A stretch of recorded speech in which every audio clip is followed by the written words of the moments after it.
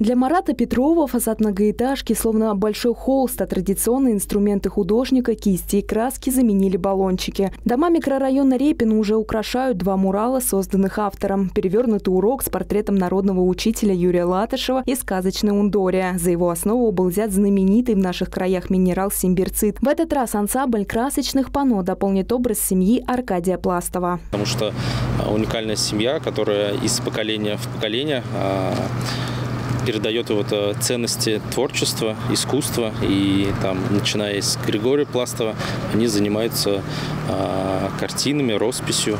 Э, в детстве Аркадий Пластов э, вместе с дедом э, расписывали церковь, и он вдохновился этим и начал писать картины, писать картины о деревне, о жизни в деревне о традициях, вот, и передавал это с помощью красок.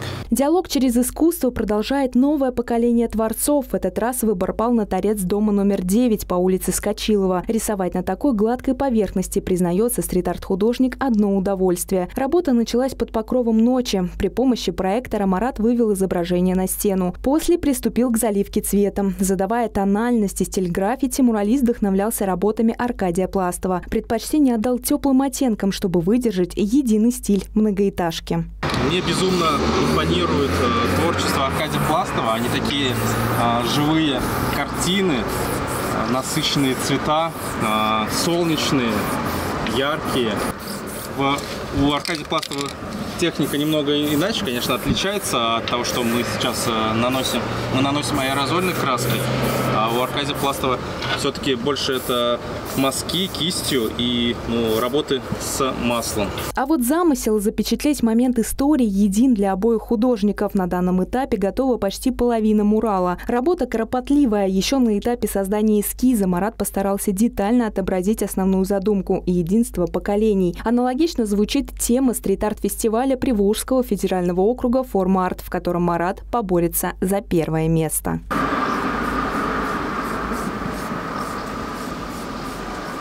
Мастерство творца оценит состав жюри, однако последнее слово за соотечественниками победы сложится из числа голосов, отданных работе художника. По завершению масштабного рисунка на сайте фестиваля будет открыто голосование. По его итогам определят получателя главного приза – 200 тысяч рублей на развитие своего потенциала. Александра Никитина, Александр Кудряшов, Улправда, ТВ.